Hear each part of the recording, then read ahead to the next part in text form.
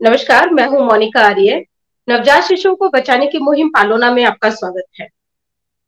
एक बहुत ही हैरत अंगेज खबर हमारे पास झारखंड के सिमडेगा से आ रही है। वहाँ एक माइनर गर्ल यानी कि एक ऐसी लड़की जिसकी उम्र 18 साल से कम है, वो एक बच्चे को जन्म देती है। पता चलता है कि उस बच्ची के साथ भी ज्यादती हुई थी। लकीली किसी को देखने के लिए अस्पताल पहुँचती है, वहीं उसे लेबर को पेन होता है और वहाँ उस, वह उस बच्चे को जन्म देती है।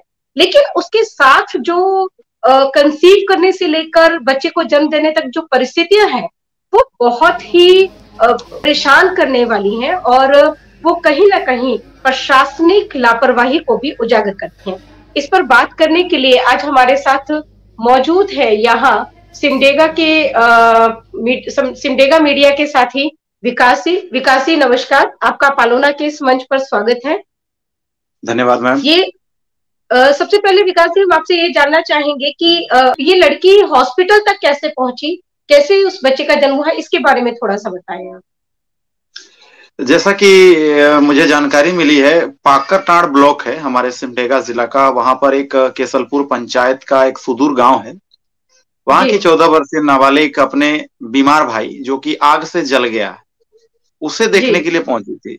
इसी दौरान उसे हल्का लेबर पेन शुरू हुआ और एक रानी नाम करके वहाँ पर एक स्टाफ है कॉन्ट्रैक्ट बेस पर उसने उसे सजेस्ट किया कि आप हम्म। एक काम करो सो आप भर्ती हो जाओ। तब जाकर वो उसकी कहने पर वो भर्ती हुई उसे ब्लड की कमी थी उसे ब्लड मुहैया कराया गया उसके बाद ब्लड चढ़ी फिर जाकर उसने एक स्वस्थ बच्चे को जन्म दिया है जिसका वज़न करीब दो किलो चार सौ ग्राम। जी।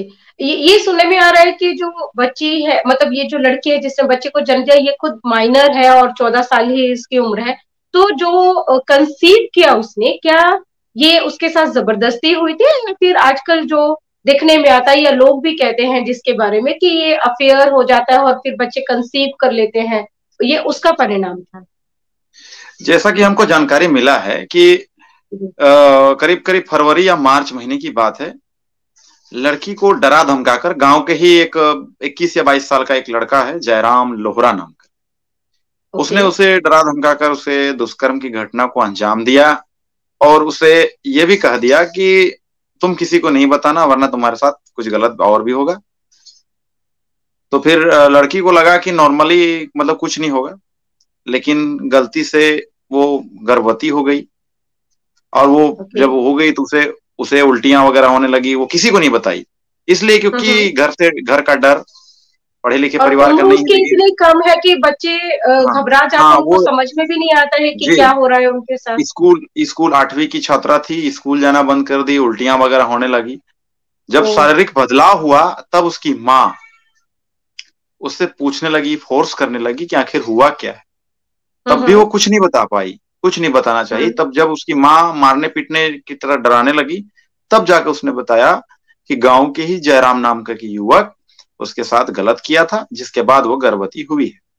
परिवार वाले समाज के डर और लोक लज्जा के कारण उसे चाहते तो पुलिस तक आ सकते थे लेकिन पुलिस तक न जाकर गाँव में ही अपने जो भी गार्जियन है उनको बताया।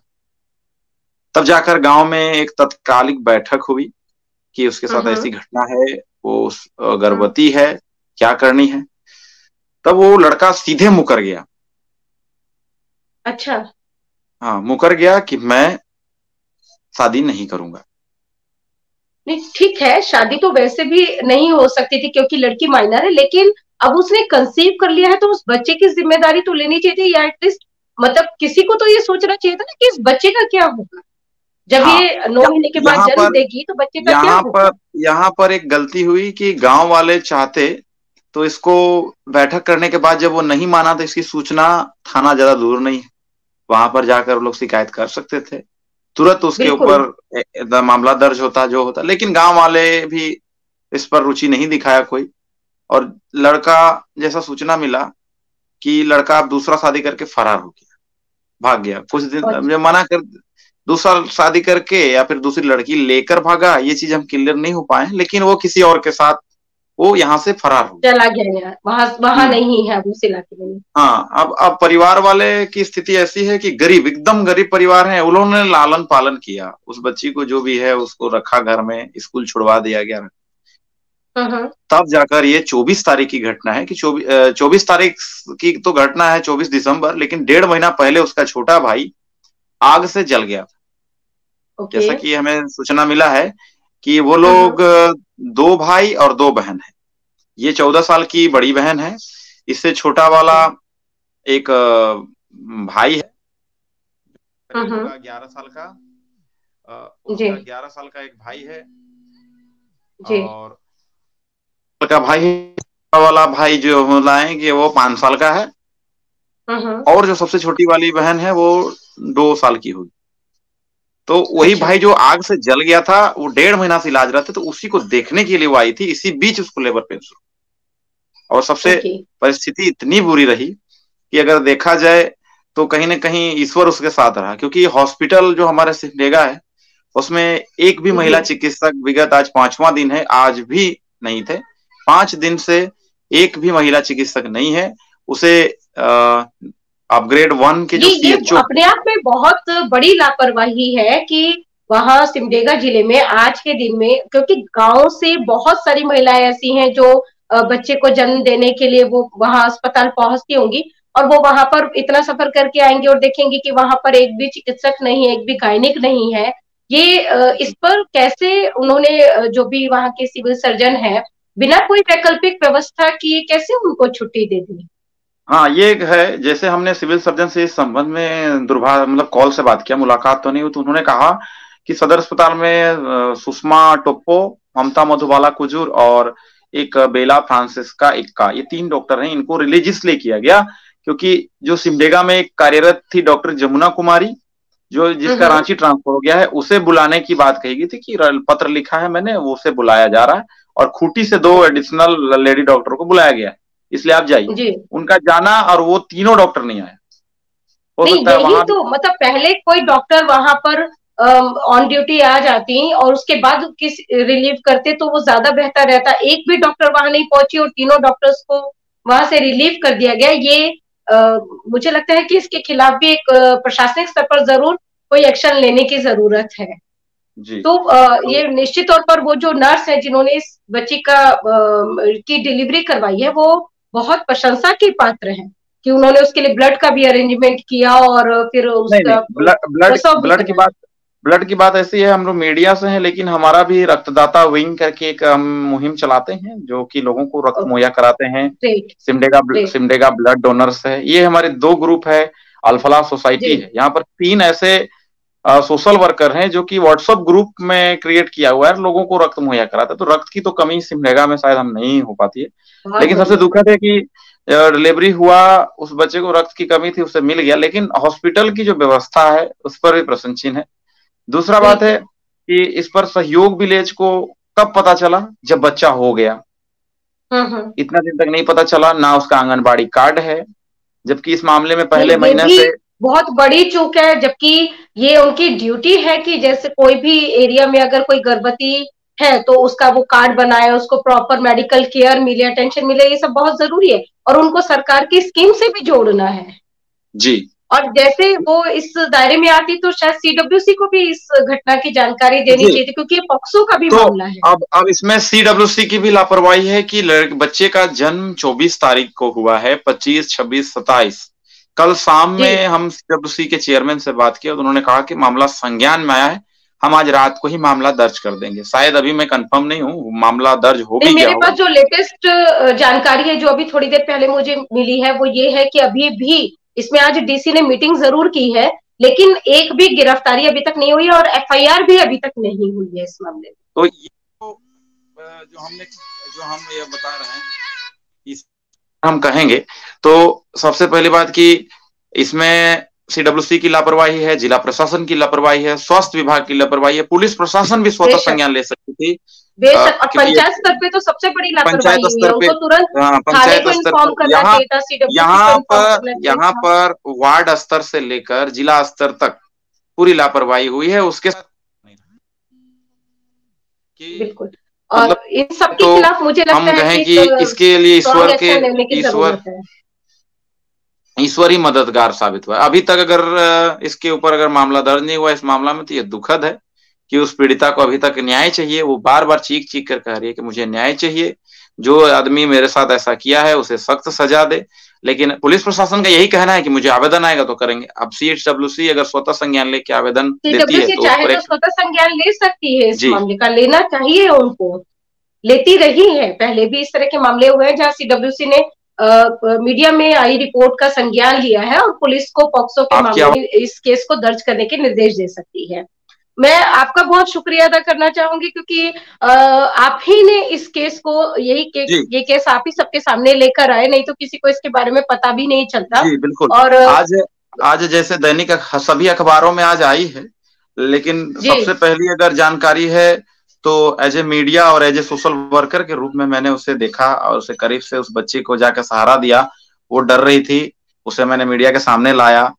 और प्रशासनिक हम्म। स्तर पर पदाधिकारियों को भी मैंने इसकी सूचना दी। तब जाकर अभी बात तो मीडिया के सामने आई आज के अखबार में फ्रंट खबर लगी हुई है लेकिन हम इससे दो दिन पहले ही हम इसे कवर कर चुके हैं। लेकिन पीड़िता को न्याय मिले यही हमारी सोच है। ये बहुत ज़रूरी है और क्योंकि आपने सभी से बात भी की है सीडब्ल्यूसी से भी आपकी कल बात हो गई है तो मुझे लगता है आज नहीं तो कल इसमें निश्चित तौर पर पॉक्सो के मामले में केस ज़रूर दर्ज होगा और इसके लिए भी आप साधुवाद के पात्र हैं। उस बच्ची को आपने वैसे भी हेल्प किया है उसके लिए ब्लड भी अरेंज करवाया है। जैसा कल रात आपने बताया था मुझे। तो ये जो संवेदनाएँ हैं इनको ज़िंदा रखना बहुत ज़रूरी है। आप वहाँ के पत्रकार हैं तो ये मामला इसकी परिणति तक ज़रूर पहुँचना चाहिए। यानी कि जो दोषी है उसको सजा ज़रूर होनी चाहिए। बहुत अच्छी बात है कि एक बच्चा जो एक नवजीवन था वो बच गया इस कवायद में नहीं तो शायद हाँ, आज हम लोग एक और में, बच्चा कहीं मिला मृत मिला इस पर चर्चा कर रहे होते सिमडेगा तो, में क्योंकि इससे पहले भी विगत आठ दिन पहले भी एक बच्चा इसी तरह से खेत में मिला है।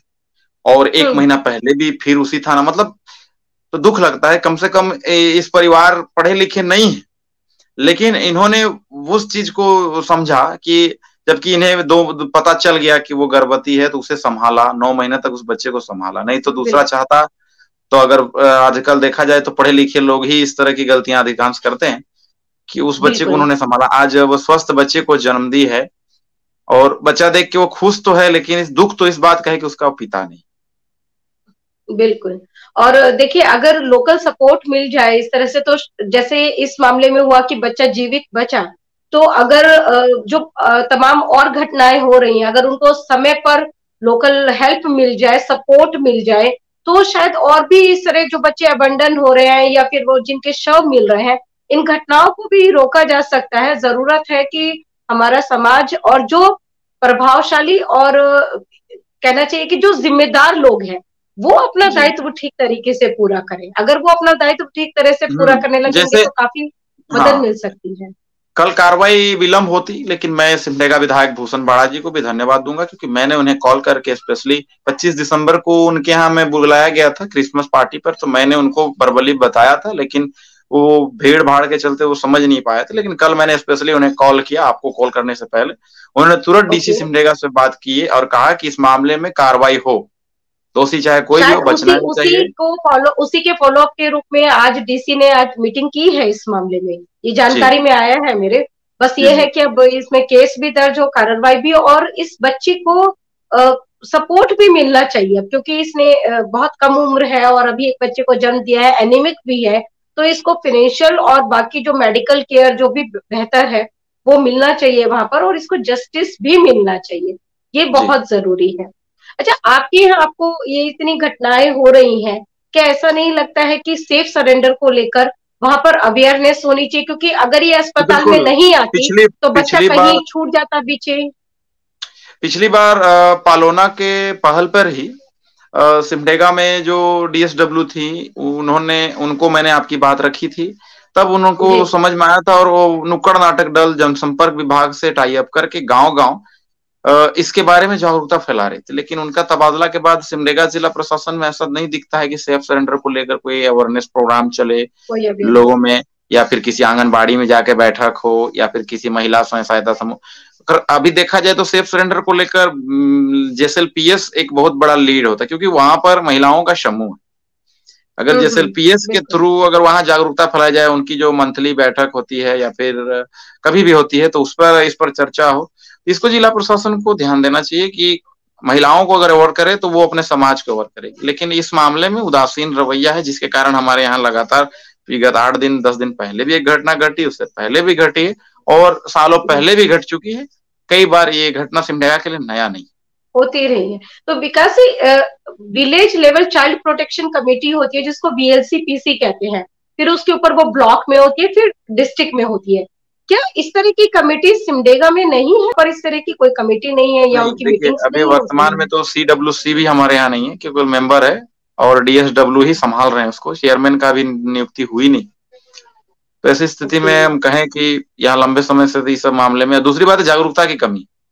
चाइल्ड प्रोटेक्शन को लेकर बहुत ज़्यादा अवेयरनेस वहाँ पर है नहीं कि किस तरह से होना चाहिए हम्म, जब घटना घट जाती है उसके बाद इंटरफेस पहले से अवॉर करने से लोग जागरूक होते बेशक अवेयरनेस तो बहुत ज़रूरी है और साथ साथ जो हमारे वर्तमान कानून है उनका भी अगर ऑनेस्ट इम्प्लीमेंटेशन हो जाए तो बहुत सारी घटनाओं को रोका जा सकता है। दूसरी बात है इस जी। सिमडेगा के सभी थाना में एसपी बाल मित्र थाना का गठन किया है उन्होंने स्पेशल एक पदाधिकारी नियुक्त किया है कि कोई समस्या हो इस तरह के मामले हो। लेकिन अभी सिमडेगा पुलिस साइबर क्राइम को लेकर ज़्यादा अवर कर रही है तो इन सब चीज़ों में भी उन्हें फोकस करने की आवश्यकता है। बड़े क्राइम्स जब होने लगते हैं तो फिर वो बच्चे कहीं पीछे छूट जाते हैं शायद जी जी, और उनके साथ फिर लापरवाहियाँ होने लग जाती हैं। इस केस में जैसा कि देखने में आ रहा है। तो आपको एक बार फिर से हम शुक्रिया कहेंगे कि आप इस केस को सबके सामने लेकर आए। आपने उस लड़की को भी मदद दी। सेफ़ सरेंडर भी उस बच्चे का हुआ और इसी तरह से सक्रिय रहिए। हमारी शुभकामनाएँ आपको है। इस तरह से समाज जनहित का भी काम करते रहे और इस तरह के मुद्दों को उठाते रहे। बहुत बहुत धन्यवाद। धन्यवाद। अभी आपने विकास जी से सुना कि इस मामले में कितनी बड़ी बड़ी लापरवाहियाँ हुई हैं और किन किन स्तरों पर हुई हैं। अगर हम नवजात शिशु की दृष्टि से देखते हैं तो ये बड़ी राहतदायी है ये घटना क्योंकि बच्चे का सुरक्षित जन्म भी हुआ और सुरक्षित समर्पण भी हुआ, उसको अबंडन करने की नौबत नहीं आई। हालाँकि हालात जैसे थे, शायद ये बच्चा अबंडन हो सकता था, शायद ये बच्चा जीवित नहीं बचता लेकिन उस के भाग्य में वहाँ अस्पताल में ही उसका जन्म होना लिखा था, इसलिए उसकी माँ समय पर अस्पताल पहुँच पाई और सुरक्षित प्रसव भी हो गया। लेकिन इससे जो जिम्मेदार लोग हैं, उनकी गलतियाँ कहीं भी कम नहीं होती हैं। निश्चित तौर पर ये एक ऐसा मामला है जिसमें सभी जिम्मेदार लोगों के खिलाफ कड़े से कड़ा एक्शन होना चाहिए। फिर चाहे उसमें अस्पताल प्रशासन है कि वहाँ पर कैसे बिना वैकल्पिक व्यवस्था किए सभी गायनिक्स को एक साथ छुट्टी कैसे दे, दे दी गई? और या फिर सी डब्ल्यू सी या जिला बाल संरक्षण यूनिट है जिन्हें तीन दिन हो गए लेकिन बच्चे का संज्ञान नहीं लिया उन्होंने पॉक्सो का मामला है इसका उन्होंने संज्ञान नहीं लिया। और जो पुलिस है पुलिस को भी उस जो थाने की कंसर्न एरिया की जो पुलिस है, उनको इस मामले में संज्ञान लेना चाहिए था। कंप्लेनेंट की जहाँ तक बात है तो वो वहाँ फैमिली में से किसी को बना सकते थे, वहाँ पंचायत में से किसी को बना सकते थे। मामले की जानकारी उनको थी। ऐसा नहीं है कि जानकारी नहीं थी। तो ये केवल अपनी ज़िम्मेदारी से हाथ धोना है कि भाई, हमारे पास कंप्लेनेंट नहीं है, इसलिए हम केस दर्ज नहीं करें। पुलिस को भी थोड़ा संवेदनशील होना होगा इस तरह के मामले में खुद इनिशिएटिव लेना होगा, क्योंकि इसमें उनके पास सब थे प्रूफ भी थे, गवाह भी थे उनके पास तो वो आराम से इस मामले में केस दर्ज कर सकती थी। सिर्फ़ एक कंप्लेनेंट नहीं होने को बहाना नहीं बनाया जा सकता है। और सबसे इम्पोर्टेंट उस पंचायत की ज़िम्मेदारी तय करना ज़रूरी है, उसकी जवाबदेही सुनिश्चित करना ज़रूरी है। जिनके सामने समय पर यह मामला लेकर आया गया था, लेकिन ना उन्होंने खुद इस पर किसी तरह का कोई राहतदायी कदम उठाया इस लड़की के हित में, इसके होने वाले बच्चे के हित में, और ना ही किसी तरह की कोई लीगल कार्रवाई उस समय में सुनिश्चित की। निश्चित तौर पर ये सभी इस कटघरे में खड़े हैं, और सभी समरूप से दोषी हैं। सभी को अपनी ज़िम्मेदारी का भान होना चाहिए और अपने दायित्व ठीक से निभाने चाहिए। तब कहीं जाकर हम बच्चों के लिए एक सुरक्षित माहौल का निर्माण कर पाएँगे। आ, मैं इज़, आपसे इजाज़त लेने से पहले अपनी वो अपील दोहराना चाहूँगी कि आ, हमारे चैनल को सब्सक्राइब कीजिए पालोना के चैनल को सब्सक्राइब कीजिए क्योंकि ये सिर्फ़ एक यूट्यूब चैनल नहीं है बल्कि एक लड़ाई है जो नवजात बच्चों के संरक्षण के लिए लड़ी जा रही है। जिसमें आपका सहयोग और समर्थन बहुत ज़रूरी है। ये सहयोग और समर्थन आप इस चैनल को सब्सक्राइब करके और इसके कंटेंट को अपने सर्किल में शेयर करके कर सकते हैं। जब आप चैनल सब्सक्राइब करें तो वहाँ जो बेल आइकन बना हुआ है, उसे दबाना ना भूलें। क्योंकि उसको दबाने से जैसे ही कोई नया वीडियो यहाँ अपलोड होगा, इसकी जानकारी आपको भी मिल जाएगी। यकीन मानिए कि एक एक वीडियो बनाने में हमें काफ़ी मेहनत करनी पड़ती है, बहुत जानकारियाँ जुटानी पड़ती है, हर ऑथेंटिक इन्फॉर्मेशन आप तक पहुँचे, इसका प्रयास करना पड़ता है। तो आपका साथ हमें एनकरेज करता है और हमें और इस पर काम करने की शक्ति देता है। तो हमारे साथ बने रहिए, इसी अपील के साथ। नमस्कार।